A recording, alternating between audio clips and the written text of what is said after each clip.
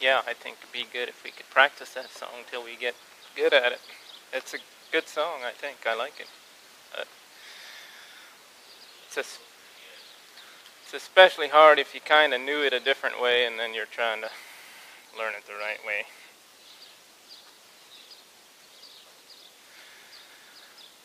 All right. well, it's been a blessing to be here, and I'm glad glad to see everybody uh, that is here, and our thoughts and prayers go out to those who aren't here uh, today. So let's stand for a word of prayer.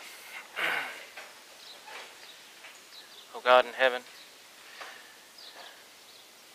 hallowed be thy name. Your kingdom come, your will be done here on earth as it is in heaven. Give us this day our daily bread. Forgive us our debts. We forgive our debtors. And lead us not into temptation. Deliver us from evil. For yours is the kingdom, the power, and the glory forever. Lord, be with us today. Guide us. Give us uh, ears to hear and a heart to understand. Be with the brothers and sisters who are out and about today, either traveling or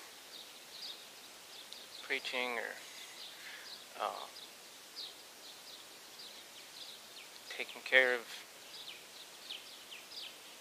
babies at home or whatever it is that they're doing, Lord, bless their day as well and minister to their hearts. Pray that everything we do and say today can bring honor to your name and, and be edifying to one another. So be with us, Lord. Let your Spirit be with us and guide us. In Jesus' name, amen. I think I'll start this morning by reading a chapter out of the Revelation of John, chapter 17.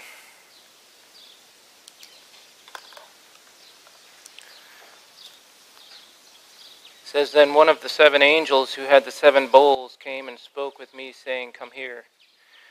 I will show you the judgment of the great harlot who sits on many waters, with whom the kings of the earth committed acts of immorality, and those who dwell in the earth were made, to, made drunk with the wine of her immorality. And he carried me away in the Spirit into a wilderness, and I saw a woman sitting on a scarlet beast, full of blasphemous names, having seven heads and ten horns.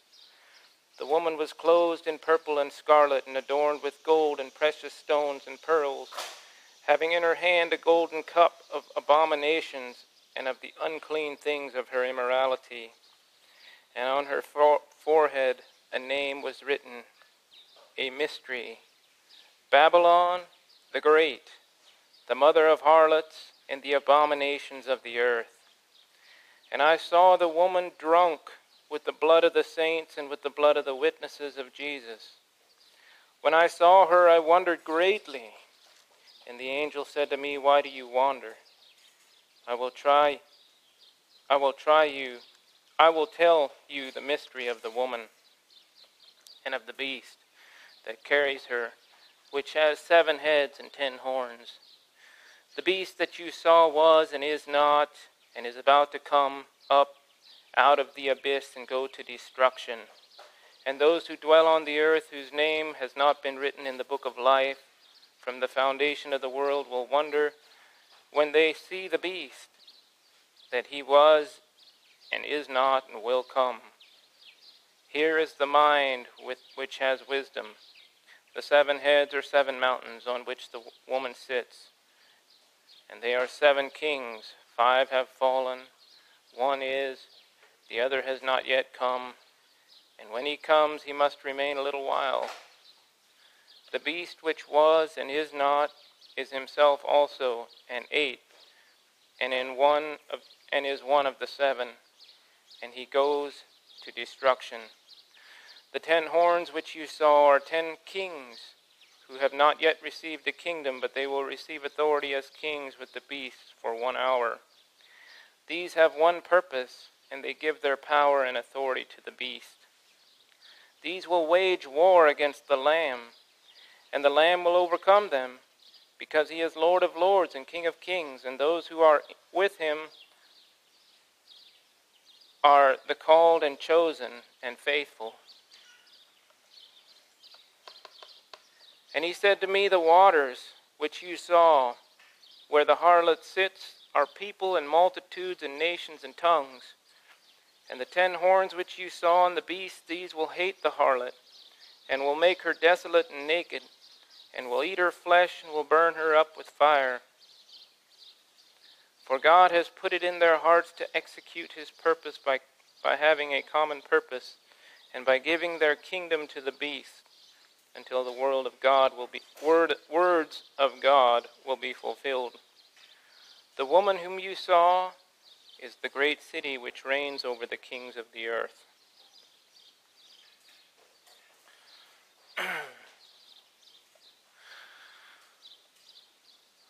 I certainly don't claim to have a full and complete understanding of the revelation of John. But what we see here is this war between uh, a beast and the lamb, a strife between what's right and what's wrong, between truth, between falsehood, um, between the things of this world and the things of God.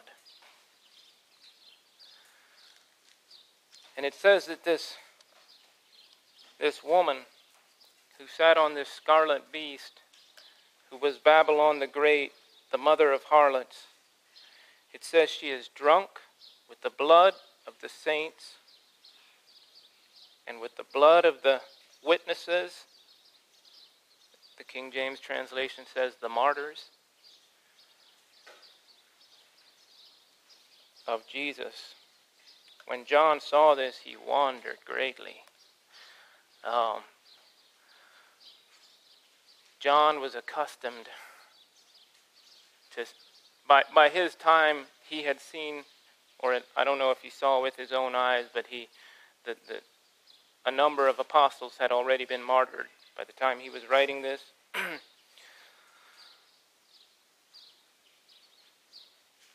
but but something about what he saw here, like the reality of it, or what, what's really behind all this, just caused him to greatly marvel.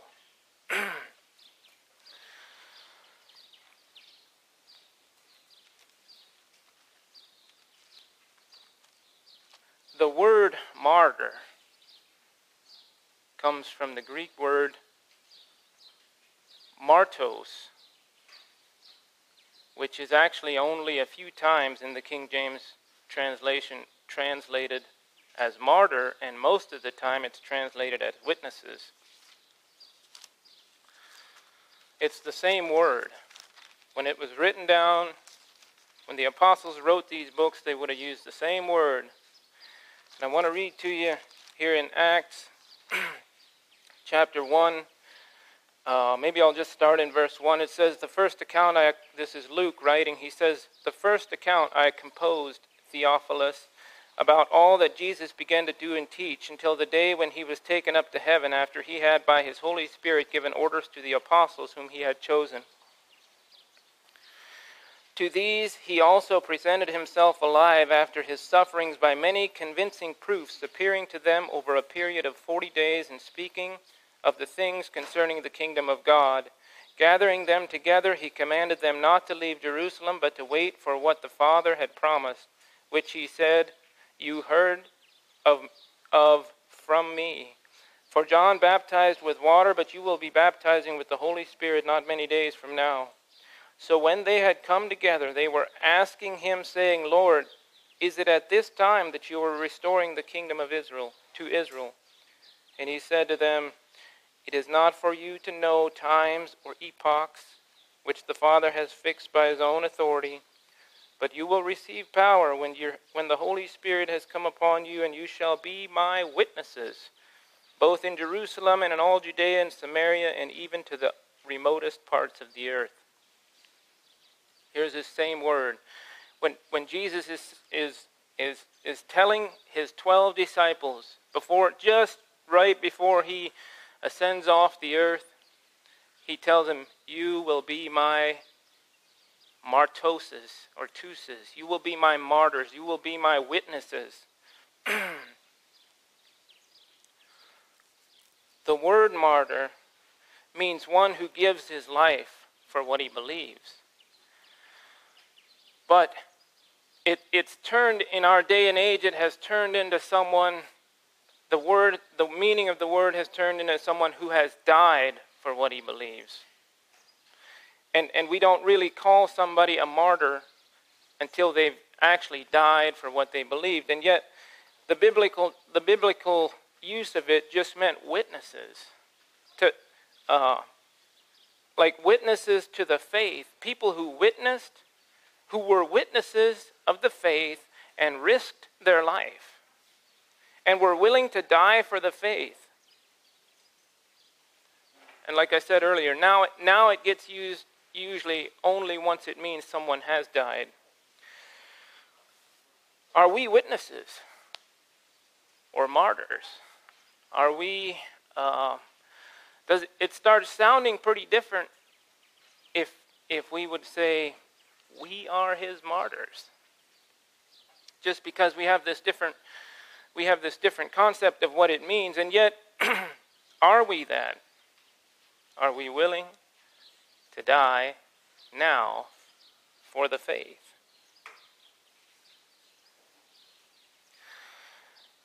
This is, uh, Lord willing, this is the, the, the first message to a series of messages that I'd like to give uh, about the apostles and how probably all of us here know it, but I think this is something that's probably in in a lot of Christianity, this may not even be known, that every last one of the apostles died a martyr, as we know the word martyr. He died shedding his blood for his faith. um, the exception may be the apostle John, although he was multiple times he was they tried to martyr him, but it didn't work. and and in this series of messages, I, I'll try to cover you know several of the apostles in each message. I don't know how many how many messages it'll be yet. when we bear witness of something, we testify of it that it is so. If we are Christ's witnesses, we testify that he is who he said he is. We testify that he's the Son of God. We testify that he is Lord. We testify that he's a Savior and a Redeemer, that he gives life and gives it more abundantly. We testify that he has the words of life and that he delivers us from sin and bondage. We testify that he suffered and died we, we testify that when he was reviled, he reviled not again, but he bore it all patiently. And not just with knowledge and words do we testify that, but with our life. What, what value is it if we, with our words, testify or witness that uh, that Jesus is the Savior and has come to deliver us from sin and bondage if we are not delivered from sin and bondage. Or as Joe was saying this morning, like, are we persuaded that he has risen? Are we persuaded that Jesus uh, uh, rose from the dead? How much value is that if we say that with our words but don't live a risen life? Don't live uh, a life that has, has uh, not, not only with the hope of the resurrection after this, but that has rose from the things that pertain to death, which is sin, because the wages of sin is death.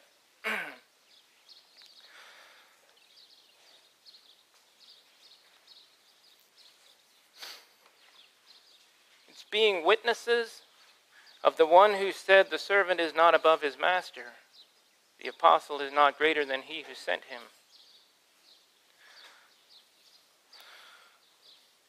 Menno Simons wrote, If the head had to suffer torture and pain, how shall his members expect peace?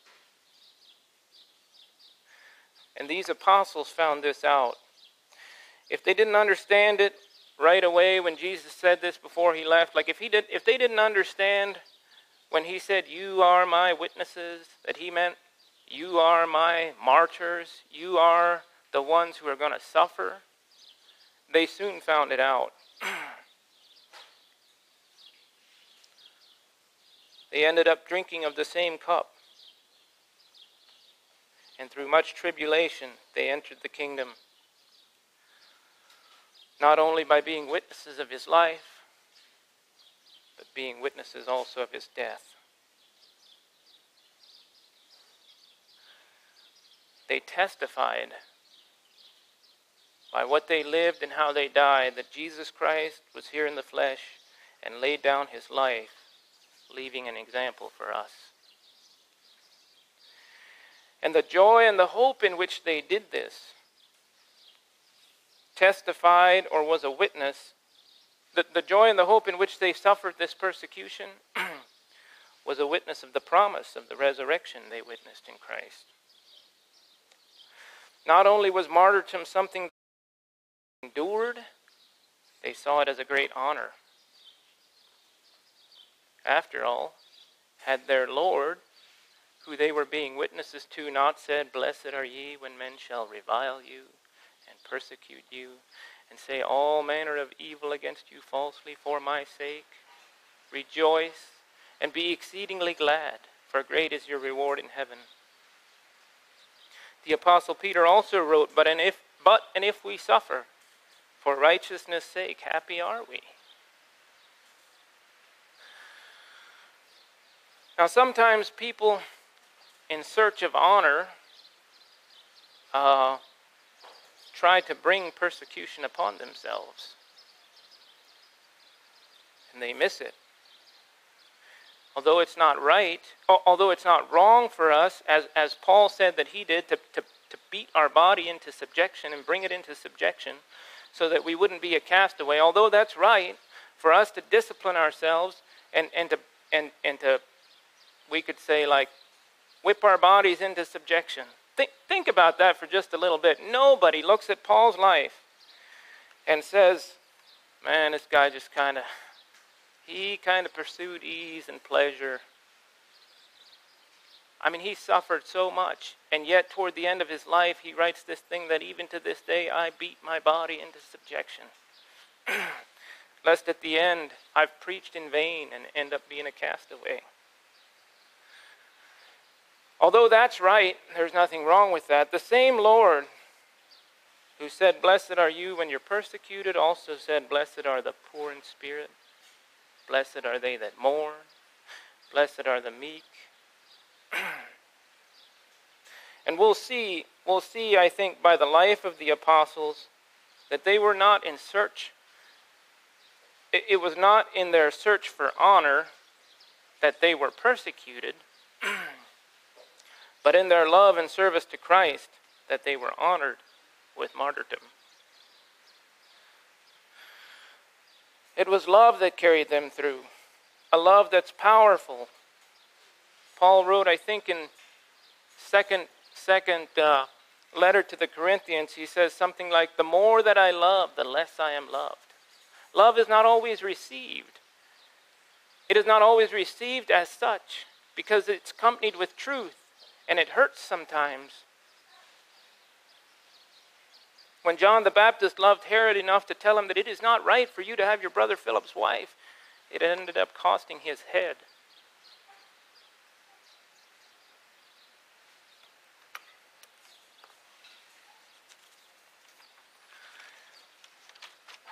Adolf Hitler said that love is weak and hate is strong. But he was wrong. In his hate and tyranny, he died, and his reign ended. But Christ's apostles, his witnesses, died in their love, and their reign began. In 2 Timothy it says, if we, be, if, if we be dead with him, we shall also live with him, and if we suffer, we shall also reign with him.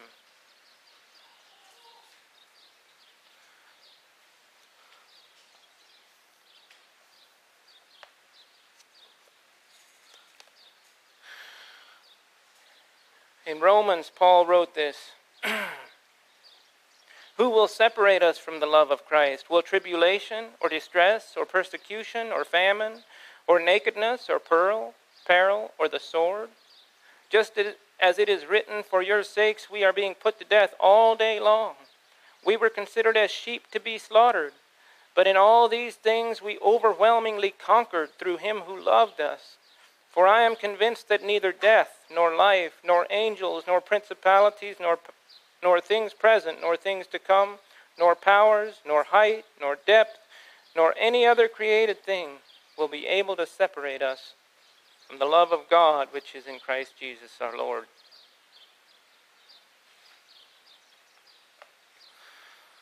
These things could not separate his witnesses or martyrs from God's love. None of these things. All right. Well, and I'm gonna I'm gonna cover I think more than just the twelve apostles in this in this series. I'm gonna start with Stephen. I'm going to try to go through these in, in chronological order, in the order that they died. um,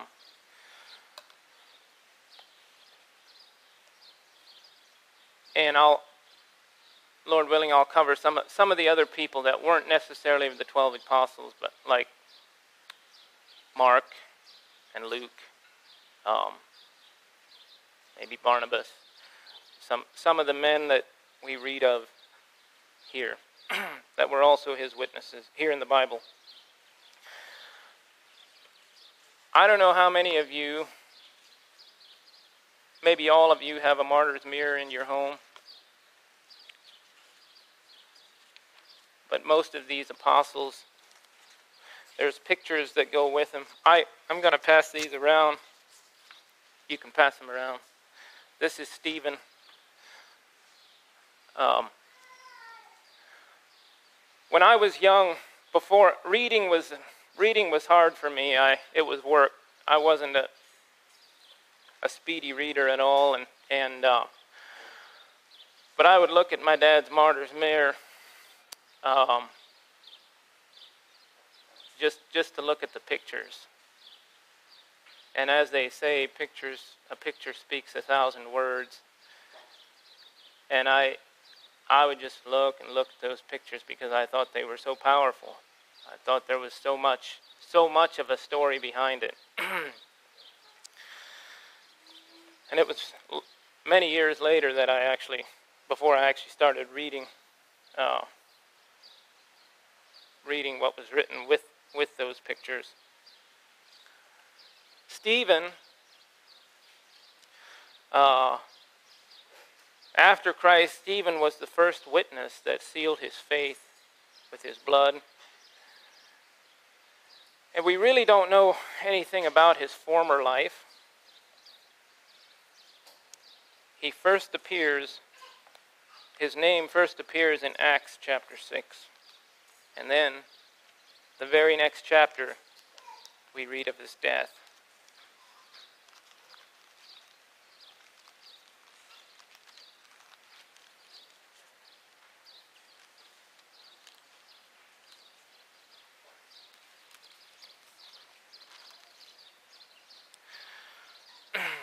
I'll read Acts chapter 6. Now, at this time, while the disciples were increasing in number, a complaint arose on part of the Hellenistic Jews against the native Hebrews because their widows were being overlooked in the daily serving of food. So the twelve summoned the congregation of the disciples and said, It is not desirable for us to neglect the word of God in order to serve tables. Therefore, brethren, Select from among you seven men of good reputation, full of the Spirit and of wisdom, whom we may put in charge of this task. but we will devote ourselves to prayer and to the ministry of the word. The statement found approval with the whole congregation, and they chose Stephen, a man full of faith and of the Holy Spirit, and Philip, Prochorus, Nicanor, Timon, Parmenas, and Nicholas, a proselyte of Antioch. And those and these they brought before the apostles, and after praying they laid their hands on them. The word of God kept on spreading, and the number of the disciples continued to increase greatly in Jerusalem, and a great many of the priests were becoming obedient to the faith. And Stephen, full of grace and power, was performing great wonders and signs among the people. But some men from what, what was called the synagogue of the freedmen, including both Cyrenians and Alexandrians, and some from Cilicia and Asia, rose up and argued with Stephen. But they were unable to cope with the wisdom and the spirit with which he was speaking.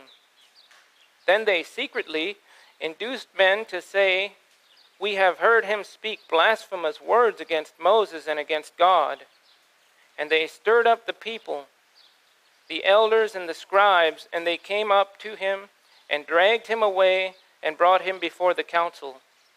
They put forward false witnesses and said, This man ins- incessantly speaks against this holy place and the law, for we have heard him say that this Nazarene, Jesus, will destroy this place and alter the customs which Moses handed down to us. And fixing their gaze on him, all who were sitting in the council saw his face like the face of an angel. And the high priest asked him, Are these things so? And then, and then Stephen goes on to, to give this long defense, you might call it, in chapter 7.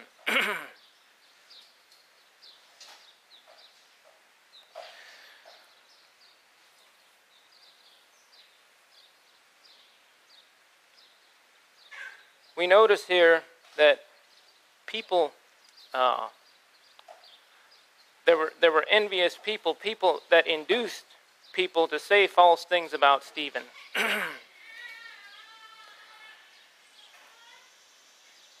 that's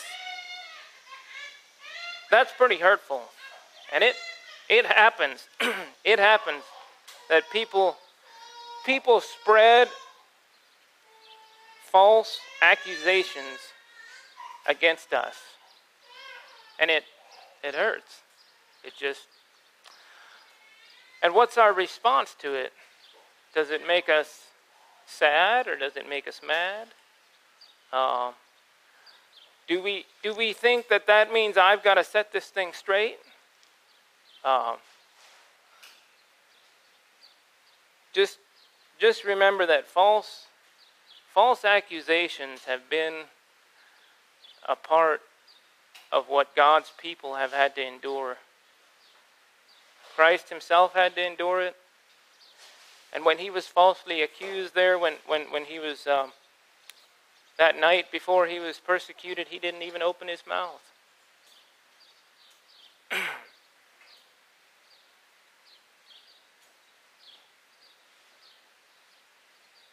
Just know this that, that false accusations are normal for Christians. I'm not saying that, that that means we have no place to try to set something straight, but just remember that it's normal. It should not surprise us. When someone lives a blameless life, and he's living not of this world, he's living above the standards of this world, it's bound to create suspicion. This person is not normal. And so the normal thing to do is to, to create some false accusation against him. Especially when, like Stephen, you're unable to cope with the wisdom in which he speaks.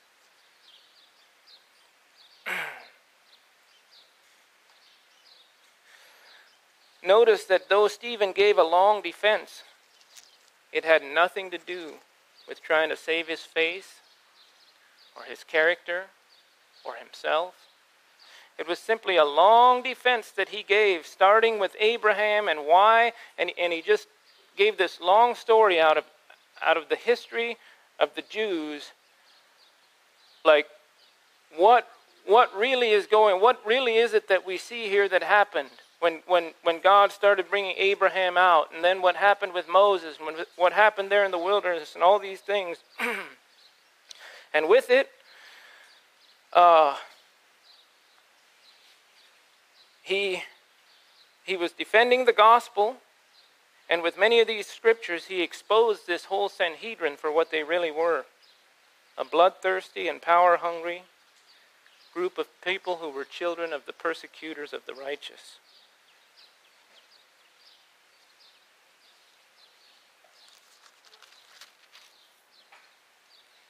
There in chapter 7, starting in verse 51, he gets to this point, kind of to this climax, where he says, You men who are stiff necked and uncircumcised in heart and ears are always resisting the Holy Spirit. You are doing just as your fathers did. Which one of the prophets did your fathers not persecute? They killed those who had previously announced the coming of the righteous one, whose betrayers and murderers you have now become. You who received the law as ordained by angels and yet did not keep it. Now, when they heard this, they were cut to the quick and began gnashing their teeth at him. But being full of the Holy Spirit, he gazed intently into heaven and saw the glory of God and Jesus standing at the right hand of God. And he said, Behold, I see the heavens opened up and the Son of Man standing at the right hand of God. But they cried out with a loud voice and covered their ears and rushed at him with one impulse. When they had driven him out of the city, they began stoning him, and the witnesses laid aside their robe at the feet of a young man named Saul. They went on stoning Stephen as he called on the Lord and said, Lord Jesus, receive my spirit. Then, falling on his knees, he cried out with a loud voice, Lord, do not hold this sin against them. Having said this, he fell asleep.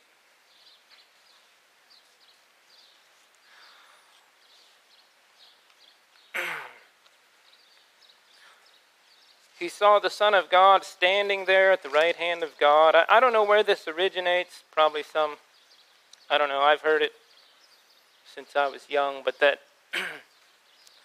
that this, this may be the very only place where, where it talks about Jesus or the Son of God standing at the right hand of, of the throne or of God. Like usually it says he took his seat on the right hand of God or he's sitting on the right hand of the Father or something like that. And here, here he's standing, and, and the, the thought that has, has, has been had is that Christ couldn't stay sitting. Like his, his something like, you know, when, when somebody, if, if you're a sports, if you'd be a sports fan, I'm, I hope you're not, but if you are or have been, like, if, if, if something really uh, dramatic is like maybe just at the end of the game and your team is just ready to win it, the people, the fans, the fanatics, that's the, did you know that that's the, the word fans comes from the word fanatics? Yeah, these people are fanatics. Anyway, they can't stay sitting. Like they're up on their feet because it's a victory. And I something like I don't even really want to compare Jesus to like sports fanatics, but at the same time, like he's standing there, his his faithful witness is ready to go all the way. This is a great, great victory.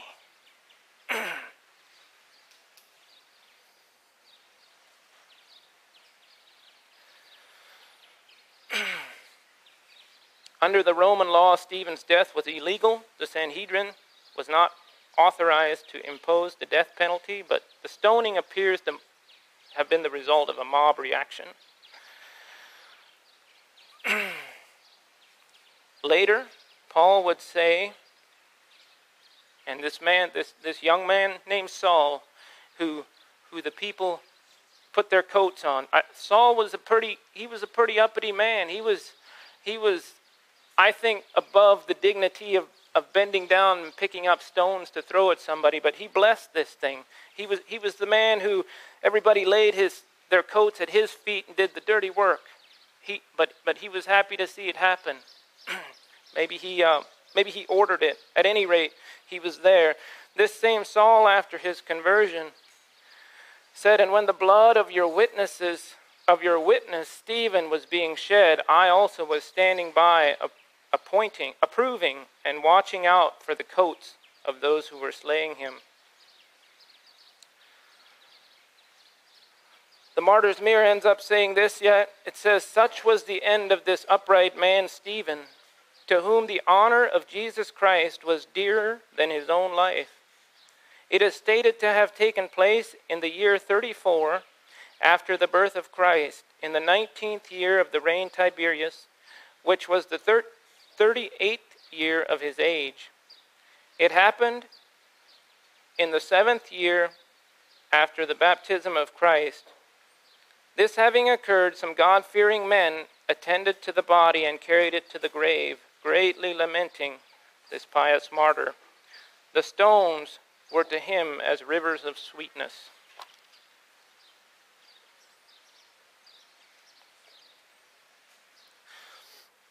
The next one of these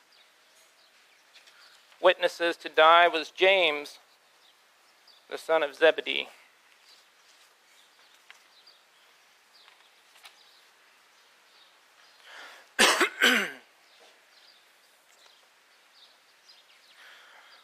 James is John's brother, the son of Zebedee, and if I understand this correctly, Zebedee is Joseph's brother, the husband of Mary. And so James and John would be first cousins to the household of Joseph and Mary. Um, they would be first cousins to Jesus and, and his brothers and sisters who were born to Joseph and Mary. And so I, I assume that Jesus was, he basically grew up with his cousins, I imagine, um, and knew them well from boyhood. Although I, I think for sure John was much younger than Jesus, and I think James was slightly younger than Jesus. um,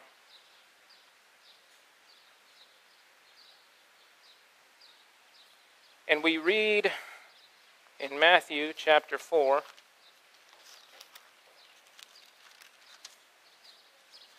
Of how, how, how it was that they began to follow Christ.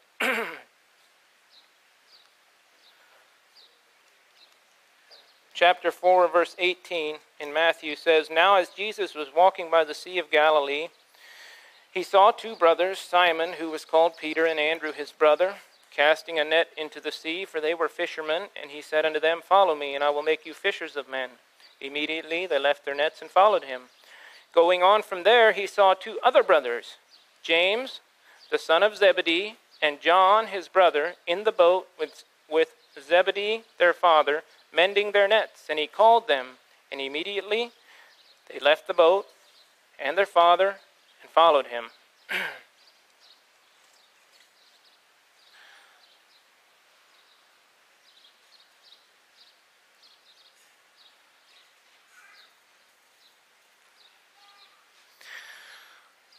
He was called to something greater, and he, he abandoned his fishing, his father, his family business to follow Christ. And little did he know where this would lead him. He was one of those he was one of those three disciples who was included in almost every one of Jesus' remarkable occasions. Um, it was often Peter, James, and John who were invited to, like, up on the Mount of Transfiguration, or in even even in the Garden of Gethsemane. I think I think he called those three. It'd be this James and Peter and John. He he called them to come closer yet to him to witness his sufferings. They they fell asleep, but but he was called to it.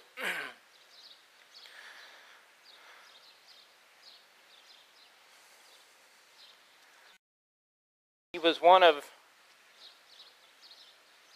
he was this James is one of the people one of the two I think two. I think that I read somewhere that there were three disciples but I couldn't I couldn't find it in scripture that were called the sons of thunder. I think it was according to scripture it sounds like it was just James and his brother John. Um,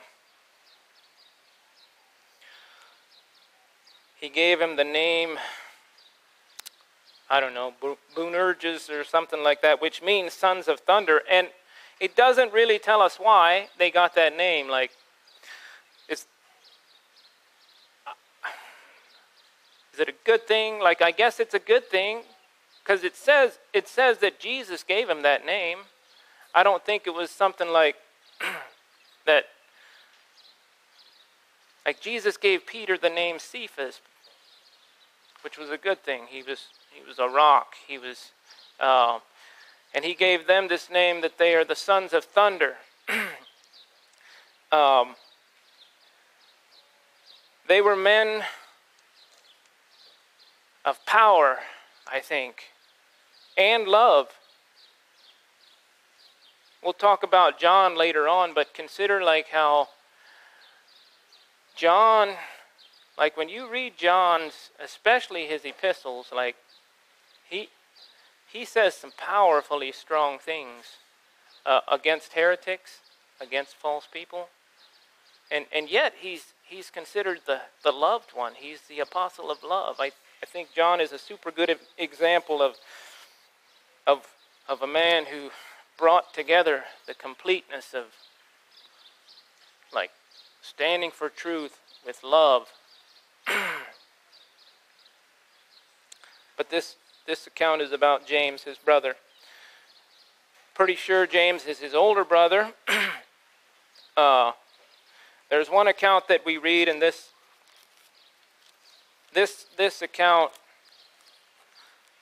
uh, I think has to do with their thunder-like character in Luke chapter 9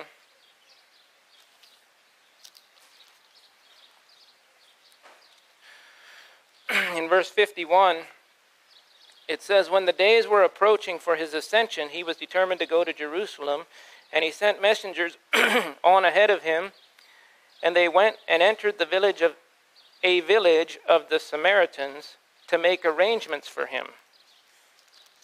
I think I, I think this this village of the Samaritans was en route the way he wanted to go, and he sent messengers ahead. I I'm reading into this, but I think to, to see if they could make place for him for the night, for him and his disciples. Could you, you know, could you lie, lodge a man and 12 disciples here somewhere? And uh, Samaria was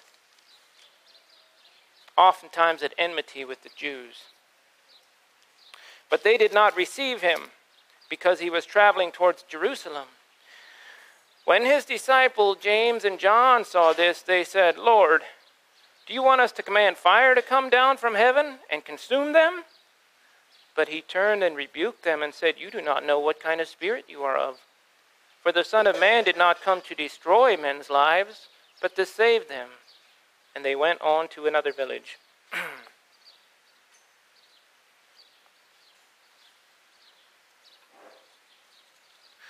They were the type of people at this point yet. They, they wanted justice. They wanted vengeance. They wanted the, the, the wicked people to receive their due punishment.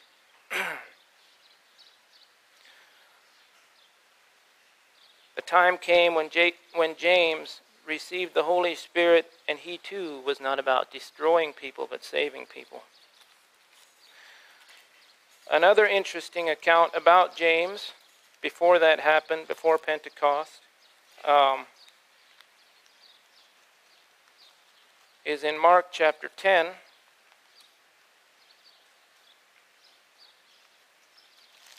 Verses 35 um, to 40, I think I'll read. James and John, the two sons of Zebedee, came up to Jesus saying, Teacher, we want you Teacher, we want you to do for us whatever we ask of you. And he said to them, What do you want me to do for you? And they said to him, Grant that we may sit, one on your right and one on your left, in your glory. Now, just a note when this, when this account is given in Matthew, it makes it sound like, well, yeah, it makes it sound like their mother came to Jesus and said, I have a request for you. And he asks what it is, and she says, Grant that these two sons of mine um, can sit at your one on your right hand and one on your left. I have a, I have a feeling it probably was the mother that asked the question, but that James and John were in on it. Um, they, they, they wanted it. Maybe they even wanted the mother to ask it. And it's, it's a common thing for us to, uh, for, for parents to, they want to see their children honored. And so, and so sometimes they take fleshly measures to try to push them into a, a position of honor, and they don't understand the honor of God. what if what if Jesus dumped it all out to her and said, Yeah, they'll be honored. They'll be beheaded. They'll be killed in very gruesome ways. That's how they'll be honored. She would have probably she would have not comprehended it, and Jesus didn't say that. But he goes on to say,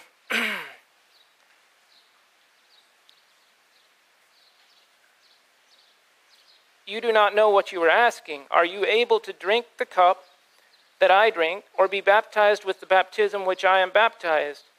And they said to him, We are able. And Jesus said to them, The cup that I drink, you shall drink, and you shall be baptized with the baptism which I am baptized.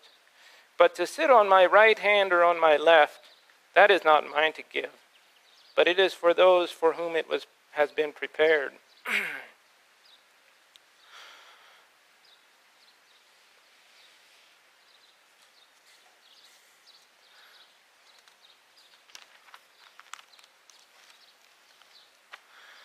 At this point, they were seeking honor yet. James was seeking honor. But he didn't know, or they had the thought that that, that, would, that would mean by being first, by being the greatest, uh, by being the closest to the king. Like if a king has a throne, those men that he keeps closest to him are his, his favorites, his most honored ones. That's what they wanted. One that would help rule, one that would help this king rule one that would help this king judge. That seems to be the way the, these sons of thunder were. the ones that would help, help set things straight, right? That's not altogether a bad desire, but in God's kingdom, the first shall be last, and the last first. The servants are leaders, and the lowly are great, and the persecuted are the honored ones.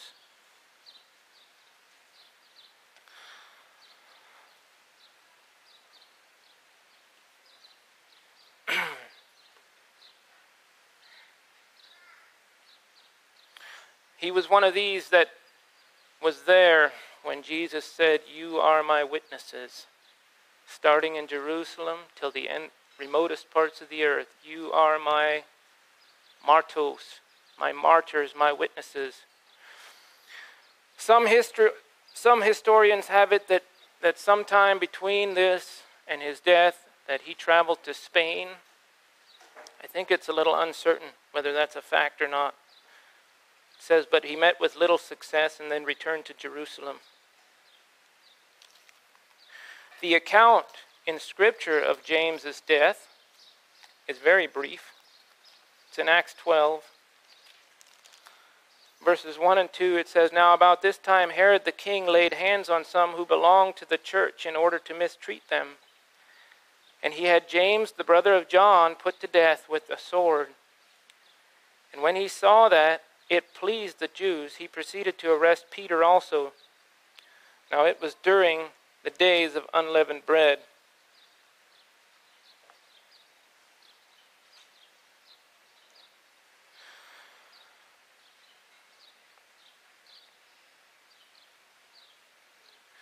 James was one who preached or witnessed of the truth of the gospel throughout Judea. I read one account that said he preached in Samaria, although I couldn't verify that in Scripture. Maybe it's there, and maybe it's just a historical fact or a historical thing that. But but I thought if so, isn't that interesting? Like remember, He was going through a village of Samaria earlier, and, and because something didn't strike him well about the Samaritans, he was like, could we just ask fire down to destroy him? Now, now he's going to these Samaritans to, to preach the good news of the gospel.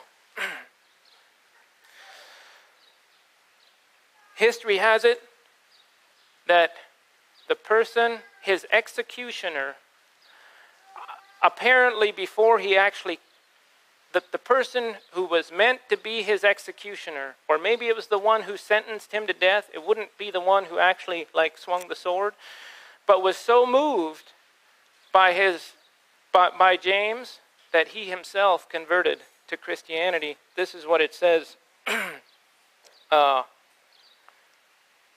in the Martyr's Mirror. It says, The apostle lived only until the fourth year. This apostle only lived until the fourth year of the Emperor Claudius, at which time Agabus had predicted that there should be a dearth throughout all the world. At that time, Claudius charged Herod Agrippa to suppress the church of Christ. Then Herod laid his blood, bloody hands on this apostle and on, on the and on the feast of the Passover put him in prison. Shortly afterwards, he was sentenced to death and executed with the sword in Jerusalem. This occurred in the year 45 after the birth of Christ. Clemens relates that the executioner, seeing his innocence, was converted to the Christian faith and died with him. According to the annotation of Eusebius Pamphilus from Clemens of Alexandria, of, from Clemens of Alexandrius, the executioner was so moved on account of his death, of the death of James, that he professed himself to be a Christian, and so, as he states, both were led forth together to death. As they were led out, the executioner asked James to forgive him. And James, after a little deliberation, said, Peace be with thee, and kissed him. And thus both were beheaded. Again, we see a new, we see a new man. Uh, we see a man who, instead of asking fire on his executioner, kissed him and said, Peace be with you. There's two things. I read this quote one time. This may not be perfectly quoted, but it says two things that always follow true Christianity. One, they will always be persecuted, and two, they will always love their persecutors.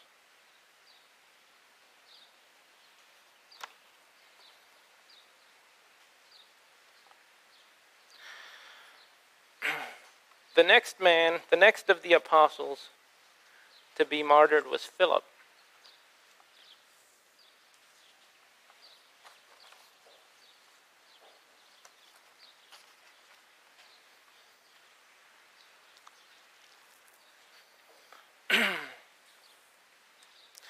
Was one of the apostles. And we read about him, his beginnings of following Christ in the first chapter of John. I'll start reading in verse 43. It says, The next day he proposed to go into Galilee, and he found Philip. And Jesus said to him, Follow me. Now, Philip was, was from Bethsaida, of the city of Andrew and Peter. Philip found Nathanael and said to him, We have found him of whom Moses in the law and also the prophets wrote, Jesus of Nazareth, the son of Joseph. Nathanael said to him, Can any good thing come out of Nazareth? And Philip said to him, Come and see.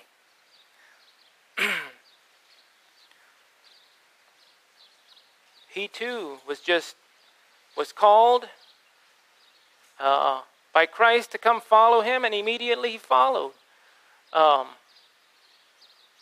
just it's such a such a blessing how we read this of Peter and Andrew and James and John and Philip and Matthew.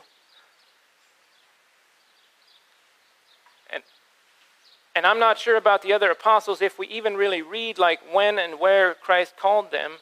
If we do, I can't remember if this is said of him, but, but it just, they just They just got up from whatever they were doing. I mean, Matthew sat at the customs collecting tax money, and, and Jesus says, Come follow me. And he leaves it and he goes and follows him. Peter and Andrew are fishing, and he says, Come follow me. And, he, and they leave everything there and they go follow him. So does um, James and John. And here, it doesn't tell us what, what Philip was doing, but Jesus said, Follow me. Not only did he get up and follow him, he immediately goes to his friend Nathanael and says, We found him. Come and see.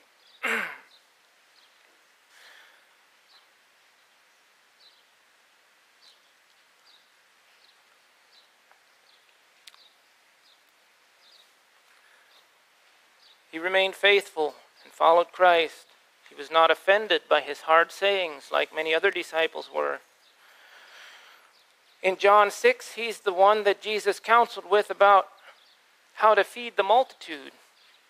Uh, how, how shall we feed this multitude with, with bread? And Philip seems like kind of a practically minded man. He said, Well, 200 pennies worth of bread is not enough to feed this multitude.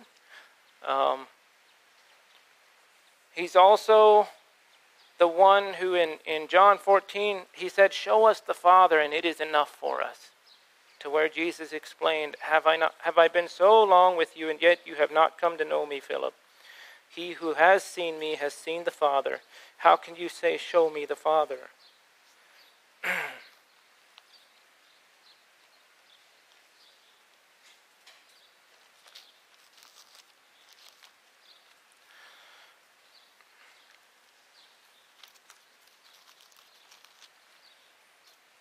in Acts chapter 8, we now read here of Philip. He was a he was one who seems to have done a lot of traveling and took the gospel to a lot of different places.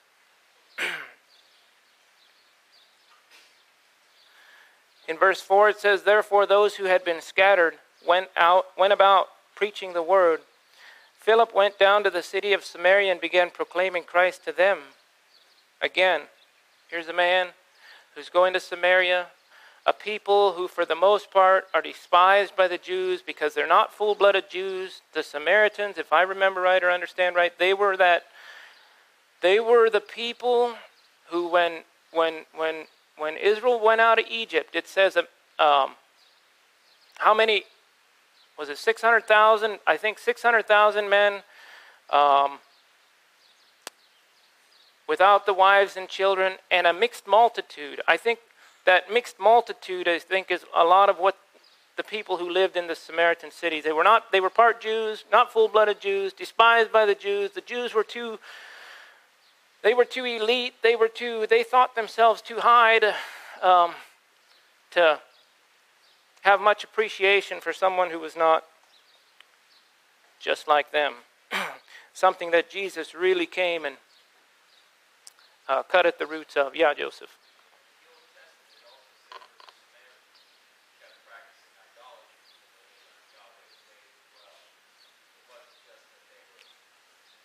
Not just that they were a full-blooded Jews. Yeah. Okay. That's that's good. Good point.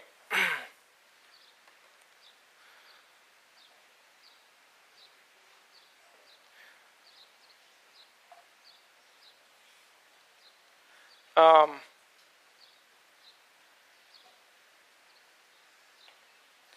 says the crowds with one accord were giving attention to what was, was said by Philip as they heard and saw the signs which he was performing.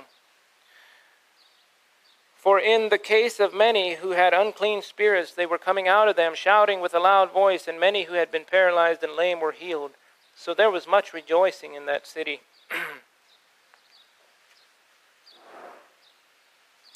Philip was the one who baptized the Ethiopian eunuch.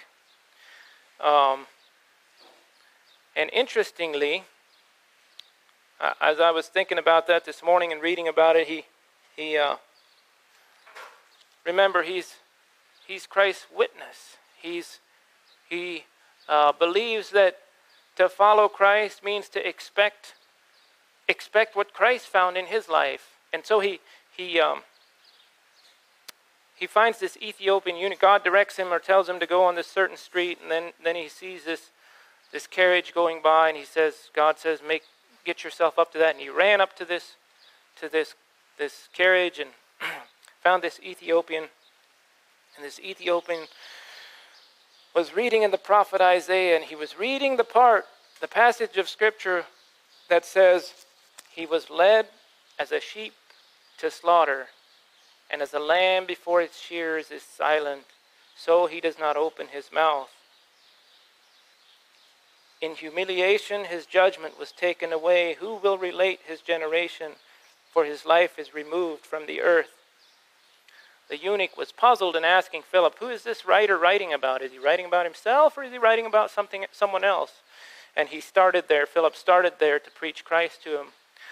Uh, and, and that is what this passage is. It is about Christ, and yet later on, Philip will find himself as his witness, being led as a sheep to the slaughter, and as a lamb before his shears.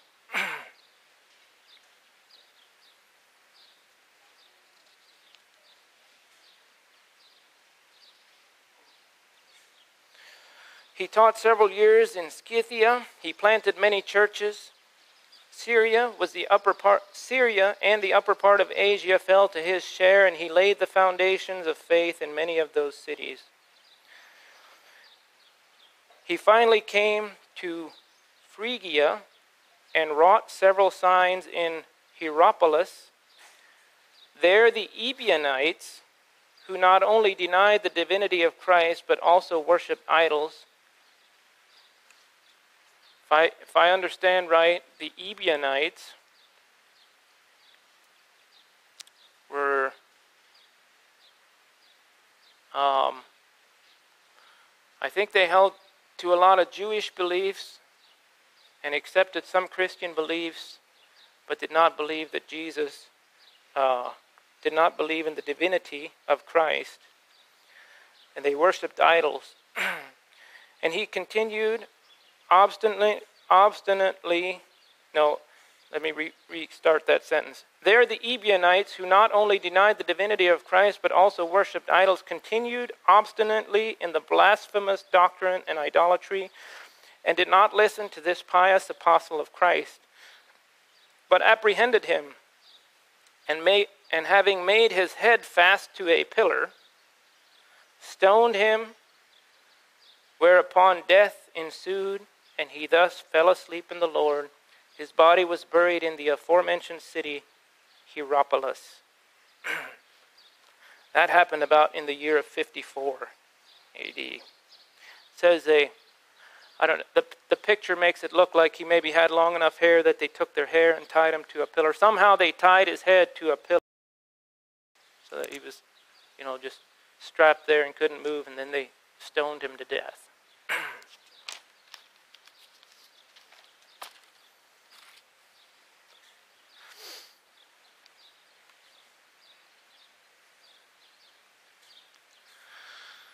As we read, those, are the three witnesses that I'm going to talk about today. As we read there in Revelations chapter 17, this war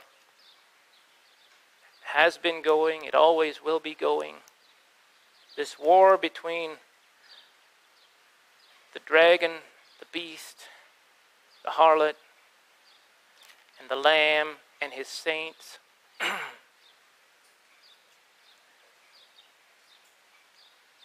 I think, I've read and I think that Abel was the very first martyr, the very first witness of God. Even though he's long before Christ,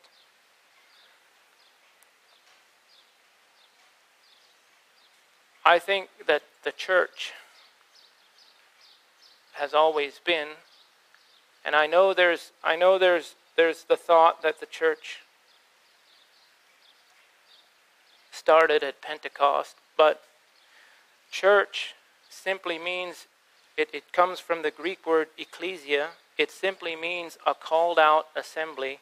And the word church, this word ecclesia, was used hundreds of times in the Greek, Greek Septuagint in the Old Testament. It's not like a new term that, that Jesus introduced, it just simply means the called out assembly of God.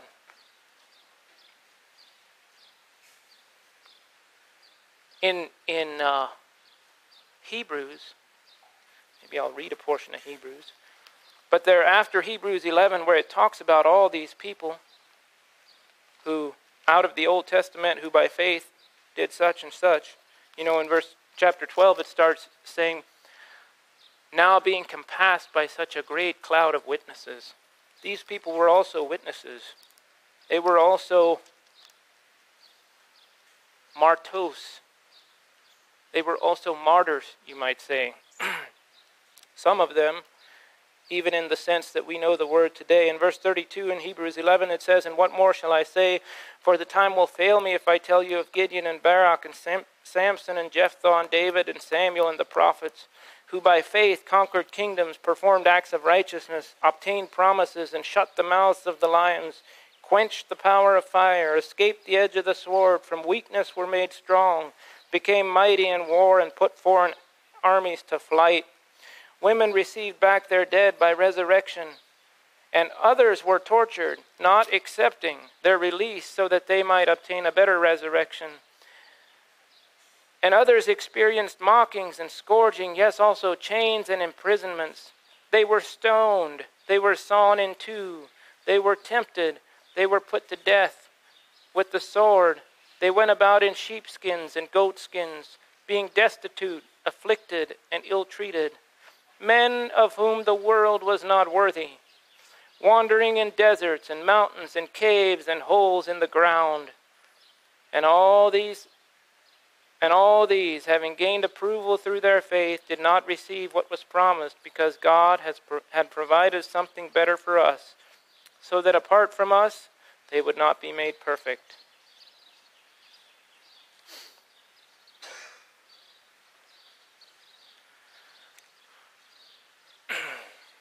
we will die as we live. The question is not, would we die for our faith? The question is, have we died for the faith? The question is not, would we endure being stoned? The question is, have we fallen on the stone and been broken already? The question is not, would we be martyrs or witnesses? The question is are we his martyrs or witnesses? It is easier to die a martyr's death than to live a martyr's life.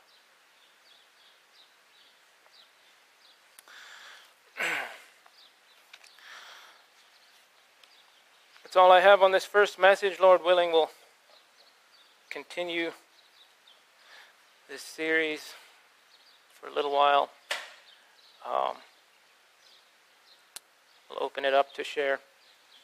Anybody has any comments or corrections?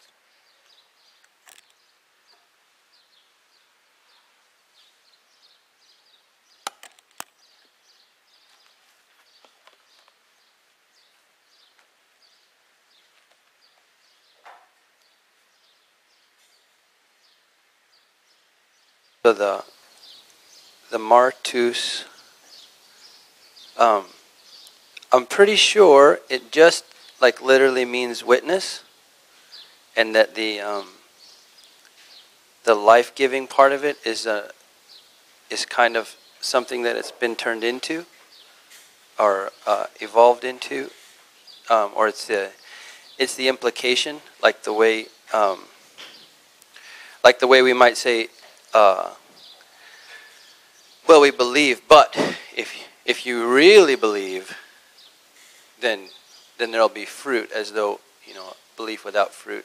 And then i noticed like when i looked up when i looked it up like the it, it often says his uh, when it says witnesses it often says true witnesses like not just somebody that would attest to something but somebody who like with this implication of like would truly attest like with their whole life. Um, I mean, I'm op- I'm I'm I'm uh, requesting correction there, but I think like like literally the Greek, like when we see that word, like um, it says like the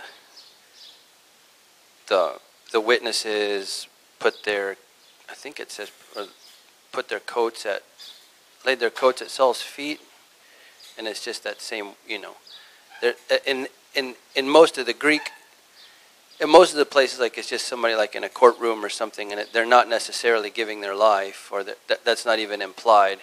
It's just it's just somebody who saw something or testifies of something. But but um, but if it's a witness of a true witness of Christ, like someone who's truly seen or who truly testifies of that of Christ, um, God's Christ, you know, then this is the implication of what, what will follow. And um,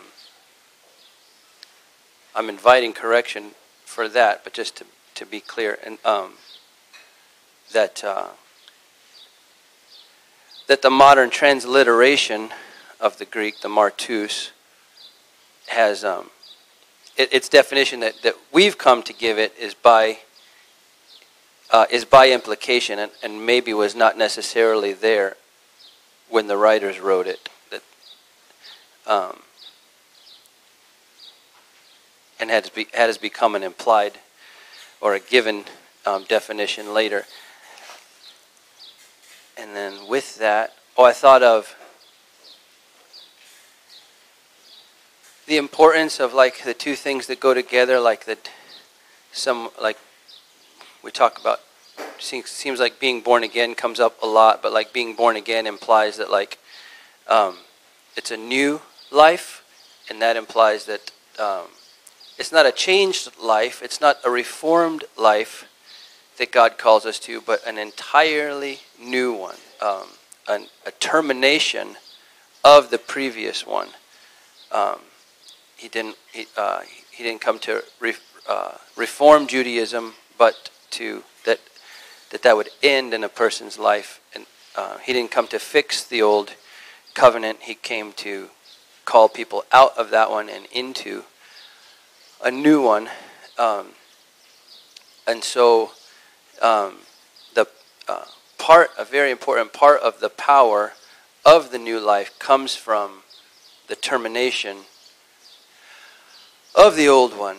And not just that we do, we don't just add Christianity to our American life, but we terminate our American life and and have a new you know a new nation, a new kingdom, um, and not just that we. Um, feel like I just keep saying the same thing over and over. We, it's not that we just do new things, but we, but the, but essential that we quit doing um, old things, um, whether it's Judaism or Americanism or what, whatever it has to be um, or whatever it was.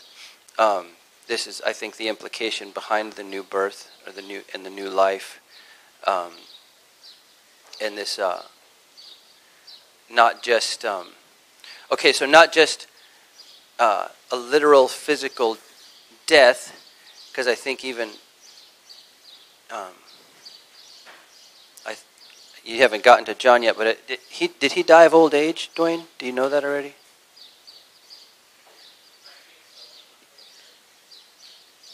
Yeah, I, I thought that was the die of old age. Yeah, I thought that was the history.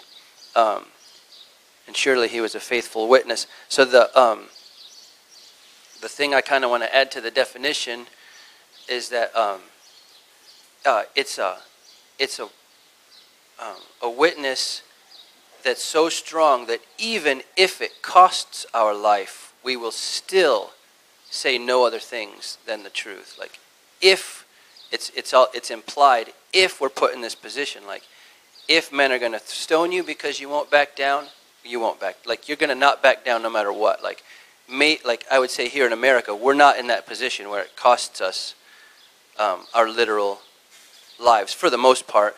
Um, but but the implication is whatever it costs in whatever circumstance, we will pay that we will give that even unto our physical lives. But like we're, we're, we're not in a position right now that, that they were in, and, and somehow John escaped, that I, I doubt. I mean, I'm just certain it wasn't because like he um, he was some sometime faced with it and backed down, um, but but rather just that we wouldn't back down, and that um, and so and so in that like it's just what um, not just that we'd be willing to die someday, but today whatever it costs, whatever death it costs us today, our job, our pride, our reputation, on and on, um, whether it's in our house um, or on the street or at our job. Um, anyway, just wanted to say that. And then the, um, picked out these several things, and then I, re- I recognized that they're all kind of connected. And then the, the, the, the hate is strong, love is weak thing, like I, I, I can't I don't want to say too much about the comparison, but I, I do want to recognize the strength of hate and its proper place in our hearts. Um, we just, like, God doesn't call us not to hate, but He, uh, he calls us to hate the right things. He wants us to hate the things that He hates and to deal with them um, properly. Like, we, we should be. We should have a hate for our old ways, a hate for our old lives, a hate like we recognize selfishness within ourselves, that there is strength in in that hatred. It just needs to be properly applied. It should not be applied to our fellow man. Like that hatred should not be applied to to people, um, but rather um, these other the, these other things. Like you know, and uh, just the first thing that came to mind is just what Christ said: whoever doesn't hate his father, his mother, his own life, like there there is strength and there is power in, in the hatred, but it needs to be applied to those things that are, that are at enmity with love.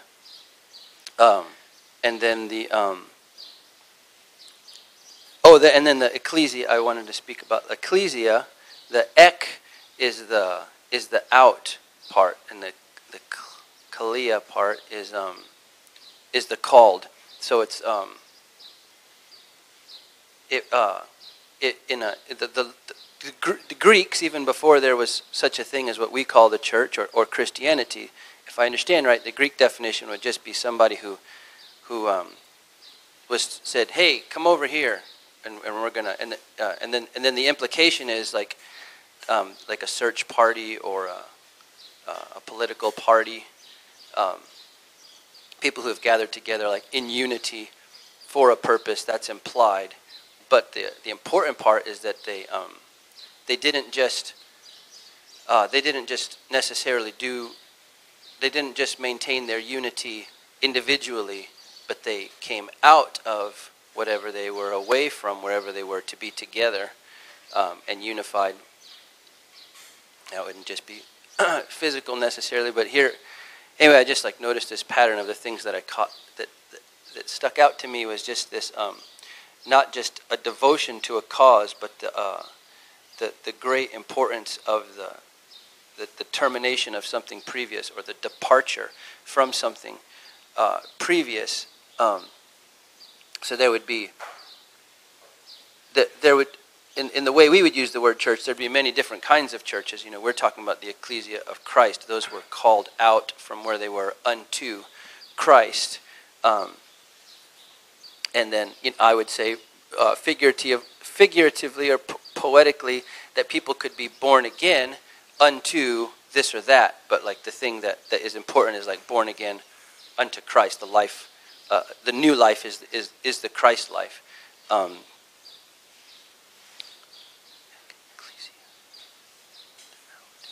anyway, I just, for whatever reason, maybe it's part of my personality, I just really latched on to the fact that to, to, to not just, um, not just live a life but make sure that the previous life is is dead and not just not just love the new things, but be sure that we do in fact hate, literally hate the old things, and not just that um, we've we've come unto something, but that we've come apart um, from other things.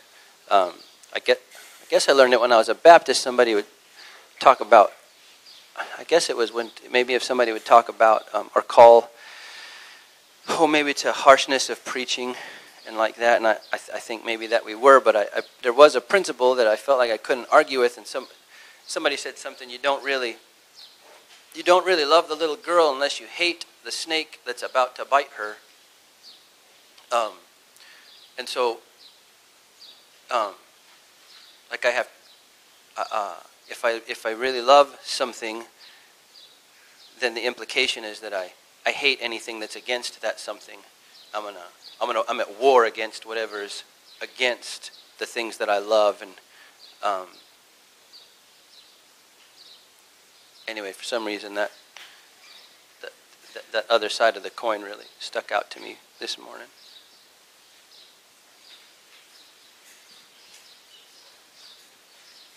Thank you, Brother Duane. Uh, you had so many good points, and uh, I'll make two quick comments, I hope.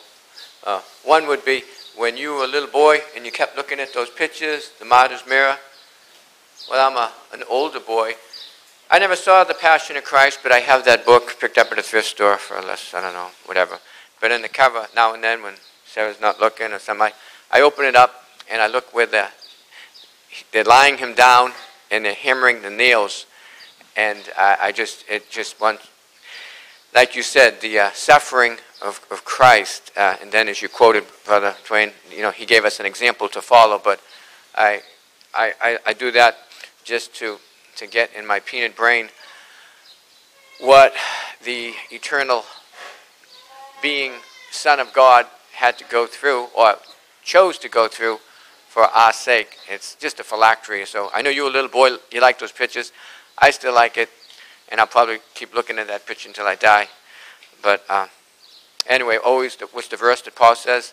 Always carrying about in the body the dying of Jesus. The Lord be magnified. Uh, one, one small point uh, about, you, you, mentioned, Duane, about, uh, well, uh, persecution or, or, ridicule or something. Someone says when you drive, when you get in, if you go into a, a car, a car dealer, and you get a, uh, a new automobile, as soon as you drive it out of the parking lot, they say it devalues like $3,000. Is that true? As soon as you just ride it for a couple of miles, say you paid 30000 for it, and then you drive it just around the block, it's yours, it, it goes down like 3000 The analogy is as soon as we, we, we elected Brother Walter and Duane and Norman as leaders, and we're all behind them, least I think it is, is great. I think we're doing a great job. But as soon as you become leaders, you're going to have people are going to start criticizing you, even when you haven't done anything. It's just so natural to criticize just for being a leader, and that's something that uh, I'm glad that you and Walter you, you you have to let the bobs jump off you. You you can't have thin thin skin and let people uh, people you know. Uh, scare you away or try to uh, do that. It's, groups that don't have leaders will eventually fall. But as being a leader, you and Walter, and if we have other, you have to recognize that you will be persecuted whether you do, whether you don't, they're going to say bad things. The Lord be magnified.